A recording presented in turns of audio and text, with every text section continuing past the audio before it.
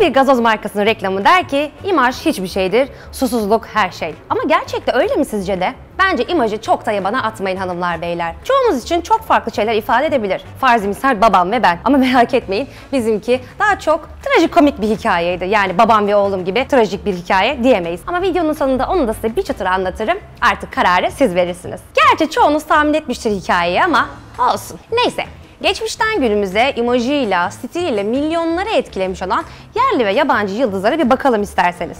Charlie Chaplin, Marilyn Monroe, Elvis Presley, Michael Jackson, Sadri Alışık ve Ayhan Işık. Tarkan'a kadar geliriz bu listede ve en nihayetinde şu gerçekle karşılaşırız. Ölürüm sana Tarkan'ı başka, işte kuzu kuzu geldim Tarkan'ı başka, işte dudu dudu artık bambaşka. Demek ki neymiş? Ünlüler dünyasında susuzluk hiçbir şey, imaj her şeymiş. E biz de bununca gaza geldik tabi. High Five'ın 3. serisinde kaküllendik. Spor dünyasında durum pek farklı değil aslında bakarsanız. Milyonlarca isim geldi geçti imajıyla insanları etkileyen. Biz de aklımıza kalanlardan yine 5 kişilik bir liste yapalım ve sizlerle paylaşalım dedik. Hazırsanız başlıyoruz. Listenin 5 numarasında büyük ihtimalle anne babalarımızın bildiği ama sizlerin muhtemelen ilk defa duyacağı bir isim yer alıyor. Amerikalı artistik patinajcı 1976 olimpiyat şampiyonu Dorothy Hamill. Hamill'in saçları 70'ler öyle bir damga vurmuş ki o dönemin bütün genç kızları bu saç stiline hasta olmuş.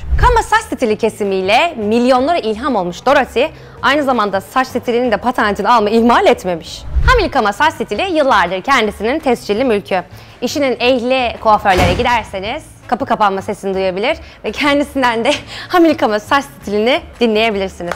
4 numarada yine bir Amerikalı var. Aslına bakarsanız kendisi gelmiş geçmiş çok iyi tenisçilerden bir tanesi. Ama komiktir ki profesyonel kariyeri saçlı ve saçsız olmak üzere ikiye ayrılabilecek cinsten. Her iki stiliyle de insanları etkileyen Agassi sadece insanları etkilemekle de kalmamış aslında bakarsanız. O haşin tarzıyla dönemin en güzel kadınlarından biri olan Brooke Shields ile birlikte oldu. Saçlarını kaybettikten sonra da karizmasından pek bir şey kaybetmedi. Gelmiş geçmiş en iyi kadın tenisçilerden biri olan Steffi Graf'ın da kalbini çalmayı başardı. 3 numaraya geldiğimizde karşımıza Ronaldo'lar çıkıyor hem Cristiano'su hem El Fenomenosu. Cristiano Ronaldo kariyeri boyunca her 6 ayda bir değiştirdiği saç stiliyle henüz kendine has bir tarz yakalayamasa da röflesiyle, façasıyla, çizgisiyle milyonları etkilemeyi ve peşinden götürmeyi başardı. El Fenomeno'nunki ise tam bir nokta atışıydı. İnanmazsınız aradan 20 yıl geçti ama 2002 Dünya Kupası'nda sadece bir aylık kullandığı bu saç stili daha binlerce yıl hafızalardan silinmez gibi. Listenin 2 numarasında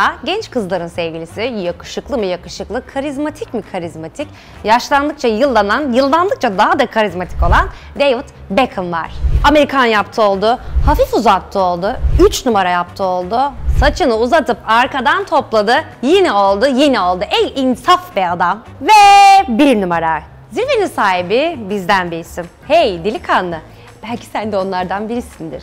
Belki sen de Ümit Davala Japonya'ya o golü attığında koşarak berbere gidenlerdensindir. Belki sen de babanın gazabına uğrayıp saçlarını kaybedenlerdensindir. Üzülme, geçti. Ama tarih o küçük mohikanları defterine bir bir not etti. Bakalım sonraki bölümlerde High Five'da kimler, kimler, neler, neler olacak. Biz de merakla bekliyoruz.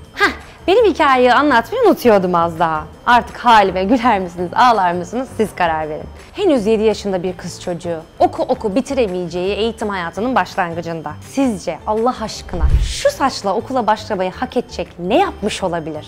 Babam Fenerbahçe'nin eski kalecisi Tony Schumacher'i sevdi diye bunun bedelini ben mi ödemeliydim? Belli ki berber de biraz Rıdvan Dilben'i seviyormuş. Ortaya bu güzel, karışık, şaheseri çıkartmış. E tabi en fazla eski tip Almancı bebelerinden tas kahküllü bir yakışıklıya dönebilmişim.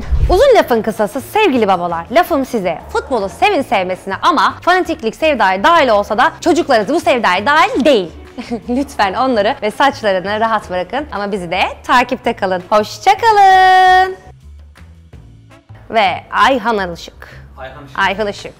Elvis Presley. O geldi.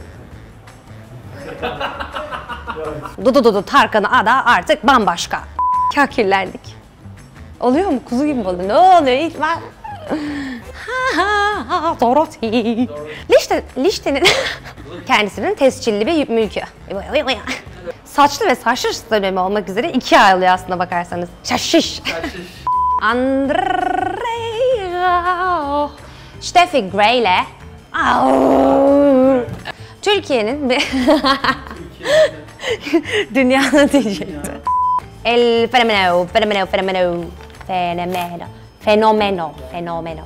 El fenomenonun ki... E, sokaklarda koştur o küçük binlerce Mohikane. Mohikane. Ama abi artık yeter. Delikanlı. Belki onda... onda. Onu sıcak gidiyor ya. Benim iki... Hadi ya, hadi tamam tamam. Daha bitmedi abi.